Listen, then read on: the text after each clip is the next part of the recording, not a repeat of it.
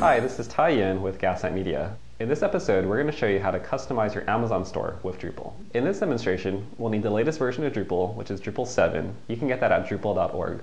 We'll also need the Views module. The first thing you want to do is create a new content type. Go under Structure, and then Content Types, and then Add Content Type. Give it a name, and go to Save and Add Fields. From here, you want to add a field for the image. Go under Add New Field, type in the name of the field. We'll call this one Product Image. Under Field Type, change that to Image, hit Save. Then click Save Field Settings, and scroll down and hit Save Settings to finalize. After that, you want to add a field for the link. Go under Add New Field, give it a label of Link, and then under Field Type, change that to Link, and scroll down and hit Save. Then click on Save Field Settings, and scroll down and hit Save Settings. And lastly, we'll need a field for the price.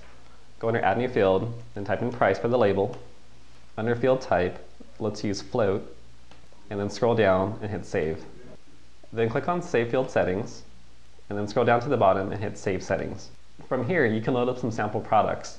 Go under Content, and then Add Content, and then let's add a new Amazon product. Next, you want to grab a couple of images that you can use for your store. So go back to Amazon and click on any one of the thumbnails to load up the bigger version. Right click on the image, then click on Save Image As. This will save it to your desktop so you can grab it later. Then go back to your Drupal site and then under Image, click on Choose File, and then find the image from your computer.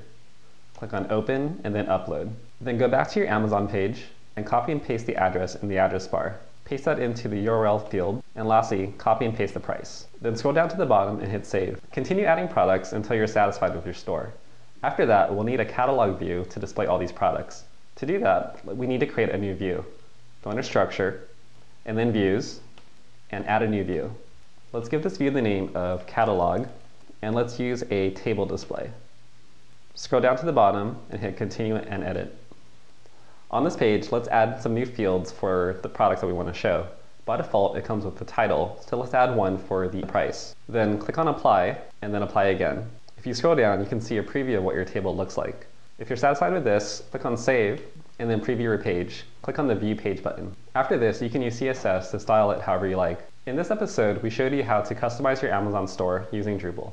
I hope you found this useful. Again, this is Thai Yin with Gaslamp Media. Thanks for watching.